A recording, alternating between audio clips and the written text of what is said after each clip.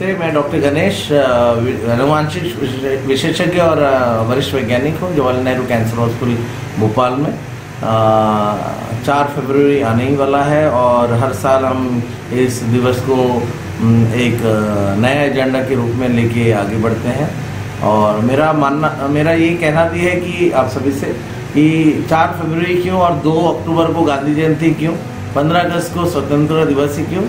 हम स्वतंत्र हैं अपने विचारों से, हर पल, हर से, हर तो अवेयरनेस का प्रोग्राम जो भी होता है, वो हर सेकेंड होना चाहिए इंसान को खुद में। जहाँ तक हम अपने आप को अवगत करा लें जागरूकता के लिए, वो ज़रूरी है और सामने सामाजिक लोग से जुड़े हुए लोग भी जो हैं, उनको भी जागरूक कराना हमारा परम धर्म है। मैं कहना चाहूँगा आपके इस मीडिया के माध्यम से कि कैंसर की दर बढ़ती जा रही है। 96 में जब मैंने ज्वाइन किया था, चार से पाँच पेशेंट हुआ करते थे। आज वही पेशेंट एक साल में नौ हज़ार दस हज़ार के दर में बढ़ गए हैं।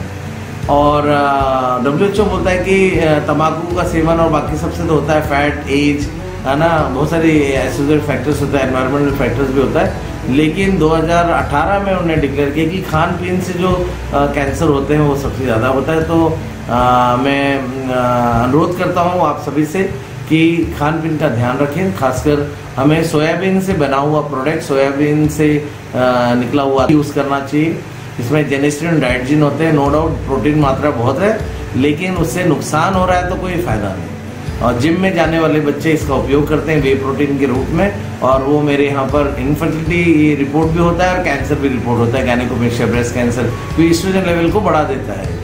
ऐसी जितने बार खाने को बार बार गर्म करके खाएँगे, उतने बार माइक्रोटॉक्सिन और नाइट्रोजोमाइंस कंपाउंड जो एफ्लाटॉक्सिन्स होते हैं, ये दोनों ही लीच आउट होते हैं ऑयल सॉल्युबल होता है, एक वाटर सॉल्युबल है, और ये हमें खाने का स्वाद बढ़ा देता है। लेकिन बढ़ाने के साथ साथ हमारे शरीर में लिपिड प्रोक्सीडेज की मात्रा बढ़ जाती है, जिसके फलस्वरूप फ्री रेडिकल डेवलप होना चालू हो जाता है। अल्टीमेटली हमारा जो इम्यून सिस्टम है कम होता कमज़ोर हो जाता है। मिथाइलेशन डीएनए का कमज़ोर जिन जिनको होता है, रूप ले लेता है, उस कोशिकाओं का, कोशिका। तो मेरा अनुरोध है कि कुछ चीज़ें आप लोग प्लीज़ जवान बच्चों से मैं अनुरोध करता हूँ कि दोबारा गर्म करके खाना नहीं खाएँ।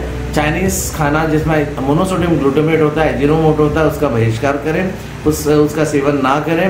जितने भी फास्ट फ़ूड कॉर्नर में मेरा रिक्वेस्ट है कि वो अजीनोमोटो ना डाल करके खाना बनाए जिससे बच्चों को होने वाली blood cancer gastric tumour infertility का शिकायत ना हो।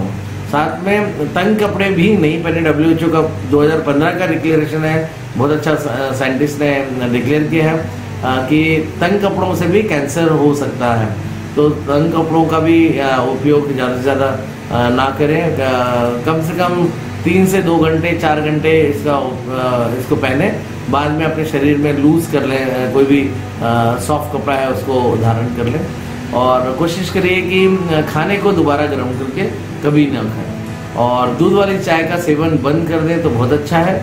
वीट भी प्रोडक्ट बहुत हानिकारक हो रहा है। तो मेरा रिक्वेस्ट है ये एक्सपेरिमेंटल है और मैंने जिन जिन पेशेंट को, जिनको कैंसर इंड्यूस रेडियोथेरेपी की मतलब इंड्यूस डायबिटिक हो गया है। उनको हमने स्टॉप किया तो उनका शुगर लेवल कंट्रोल हो गया। तो चार ही नहीं, हमें हर चार सेकेंड अपने आप को खुद और दूसरों को भी जागरूक कराने का प्रण लेना चाहिए। और ये दायित्व होता है हम सबका कि हम सोसाइटी के लिए हित सोसाइटी के हित में और सोसाइटी के लिए काम करें। धन्यवाद। नमस्ते।